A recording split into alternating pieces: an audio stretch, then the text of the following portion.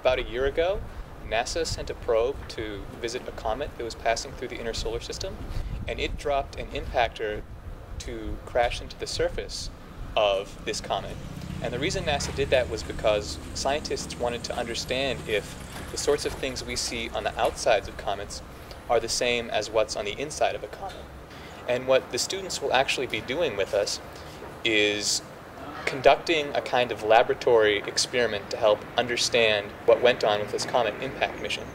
And we're going to be dropping uh, softballs from the balcony of KIPAC's building into trays of a bunch of different materials. We're going to be dropping a softball into some crushed up water ice and crushed up carbon dioxide ice.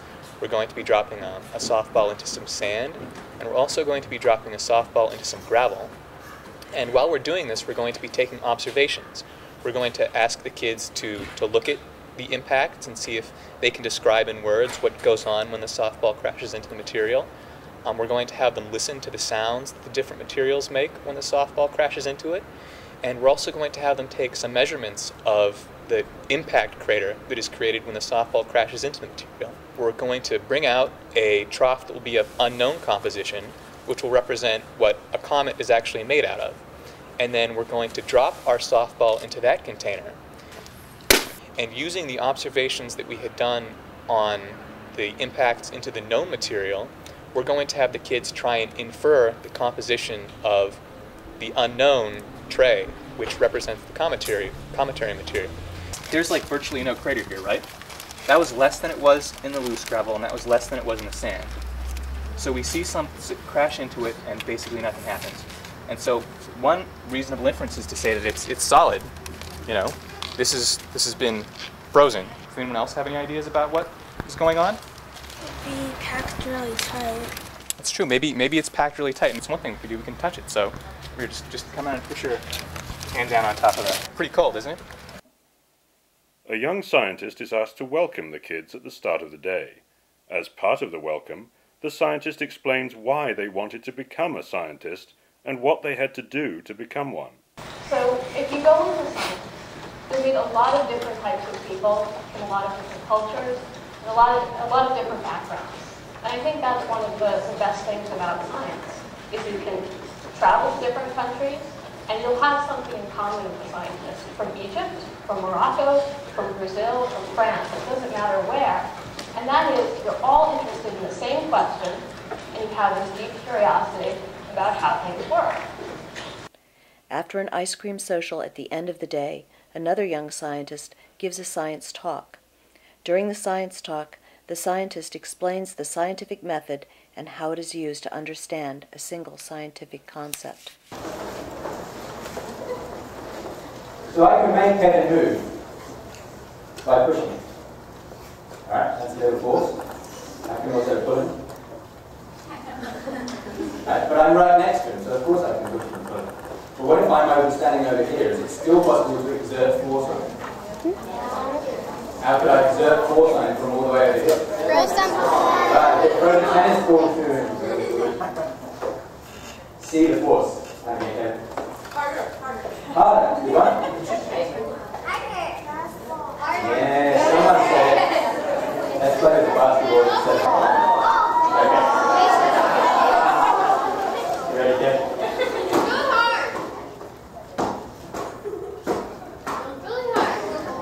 He's moving.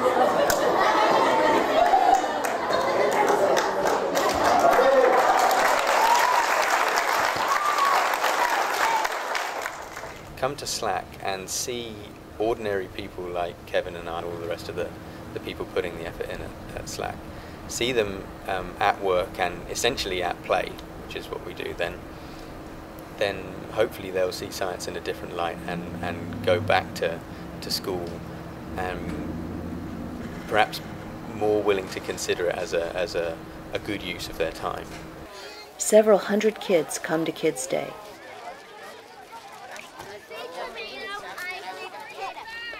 Planning for the day begins in January. Workshops are reviewed, new workshops are planned, and young scientists are recruited. One, two, three, four, five, six, seven, eight, nine, ten. Okay, asteroids come by here.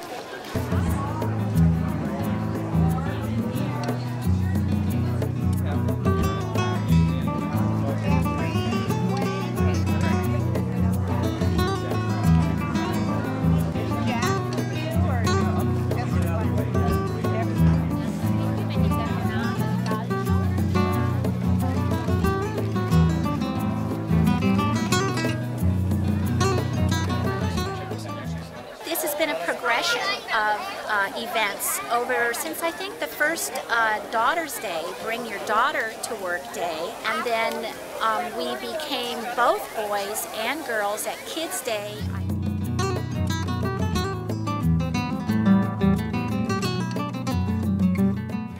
And so we built the workshop up from anywhere from 40 or 60 kids, and then 100 kids, and then now we're up to 250 kids, and Nearly 20 workshops range from astronomy and biology to vacuum and waves. Each kid takes two to four workshops each year, and it takes six years to do all of the workshops. One in ten people at SLAC participate in Kids Day, lending it a feeling of goodwill and community. Alright, so on this telescope there's uh, two knobs that move the thing. One moves it along this axis, which is this knob, and then this knob moves it along this axis right here. And this is the focus. So you guys can all play with these knobs. And you can actually see some of the sunspots, so kind of show you some cool stuff.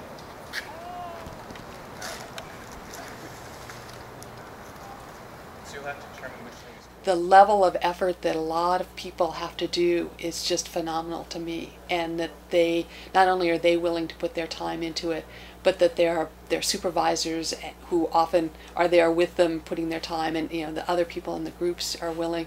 It's it's wonderful. And, even, and I can do something that you don't normally use bananas for and that is I can take little bit, little radioactive there. All right. So you're testing now. What kind of radiation is, is that coming off that? Is it ionizing or non-ionizing? What do you say? Yeah, right, that's right. It's ionizing radiation. Got it. Very, good. good. Excellent. All right. So The first few soldering joints that the kids make are usually kind of crude. Some of them are, are remarkable. The very first time they solder, it's like it's a perfect joint. Um, there are some that it, it takes a little while. They the, the usual problem is they glop a lot of solder on because you think, well, if, if I really want it to connect well, I'll just put more on, um, which tends to then bridge all the components together. Soldering is fun. I've been doing it for 30 something years and I still love doing it. Now I became older, I have my own kids, and it is fun to teach them. I finally recognize that. Uh, it is uh, really interesting to see how kids come to this workshop they don't don't know what to do and then you explain them and you see that uh, they become more interested in uh, what they're doing and their skill improved a lot. The SLAC family connects with the families of staff members.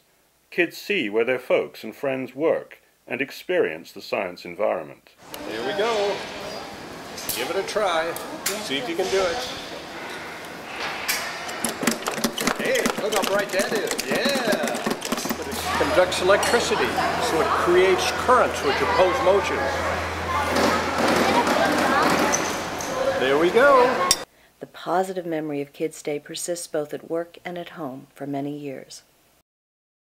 If you just look around at the number of volunteers who are here and all the time that we give people to be off and all the time and energy and materials that go into the workshops that the kids do, we love this day and we think it's good for the kids and good for the lab and good for the parents. SLAC, we've always provided, uh, praised ourselves or been happy about the fact we see ourselves as a family. It's previously, it's been the family of all the employees together.